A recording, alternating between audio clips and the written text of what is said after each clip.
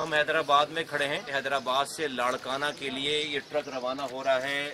हमारे लाड़काना के ऐसे मुस्तकिन भाइयों के लिए, फैमिलीज़ के लिए, जो डेफिनेटली बहुत ज़्यादा परेशान है। हमारा तरीक़ेकार ये है कि हम लोगों को बुलाकर राशन नहीं दे रहे, उनको लाइन लगवा कर हमारा तरीक़ेकार ये पाक ज़मीन पार्टी के कारकुनान, जिम्मेदारान, ये बशीर भाई हैं, हमारे लाड़काना डिवीज़न के हमारे प्रेसिडेंट हैं।